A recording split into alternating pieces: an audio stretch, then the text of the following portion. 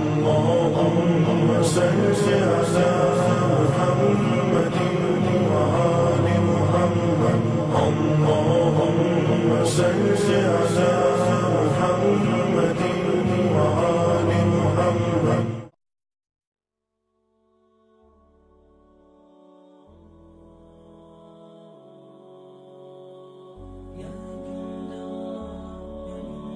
We should be at the forefront of what is right, not because it involves Muslims, but because it involves the conflict between right and wrong. And we should always be on the side of right because the side of right is the side of Islam.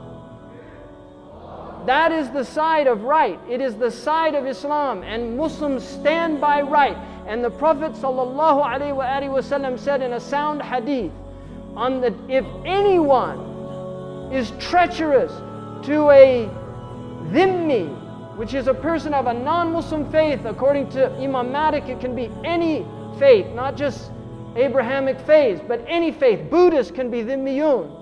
And that has been the active practice of our tradition. He said, if anyone is treacherous to a dhimmi, any Muslim oppresses a dhimmi, I will be the dhimmi's advocate on the day of judgment.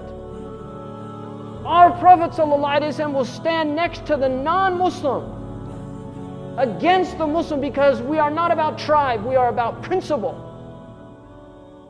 And if the principle goes against the tribe, we say goodbye to tribe.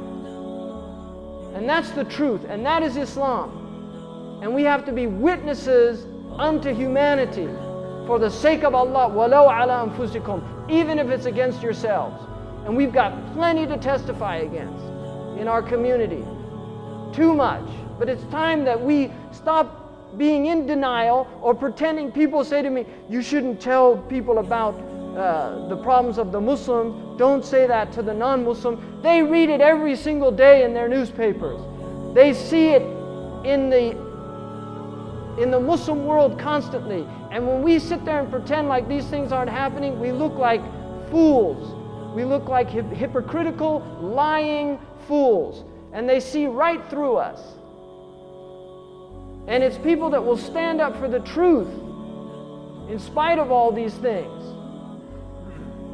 that will be recognized as people that those people want to listen to, and ultimately that is what we want. We want the ears because the ears are the inroads to the hearts.